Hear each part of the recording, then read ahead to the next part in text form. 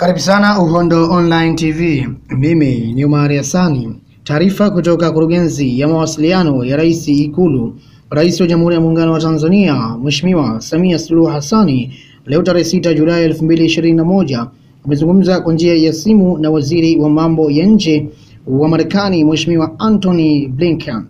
Waziri wa mambo ya nje wa Marekani Mheshimiwa Blinken amempongeza Mheshimiwa Rais Samia kwa kushika hatamu ya uongozi nchini na kumhakikishia kuwa serikali ya Marekani itaendelea kushirikiana na serikali ya Tanzania katika kuleta maendeleo kupitia shirika la Marekani la maendeleo ya kimataifa USAID kwa kuzingatia vipaumbele vya nchi. Katika mazungumzo hayo, Mheshimiwa Blinken amempongeza Mheshimiwa Rais Samia kwa hatua anazozichukua katika kukabiliana na ugonjwa wa korona nchini Tanzania na Marekani ipo tayari kuisaidia serikali ya Tanzania katika kukabiliana na ugonjwa huo. Aidha, Mheshimiwa Blinken amepongeza jitihada za Mheshimiwa Rais Samia katika kuimarisha demokrasia nchini ikiwa ni pamoja na azma yake ya kukutana na kushirikiana na vyama vya siasa pamoja na kusimamia uhuru wa vyombo vya habari. Pia amepongeza uboreshaji wa mazingira ya ufanyaji biashara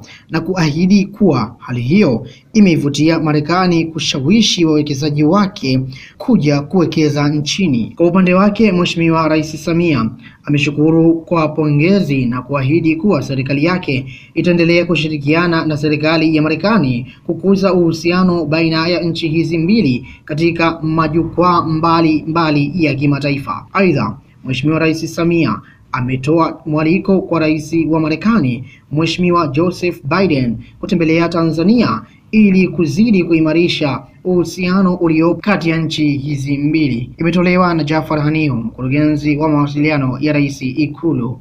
Hii ni Uhondo Online TV, endelea kufuatilia taarifa zote ambazo tunakufikishia.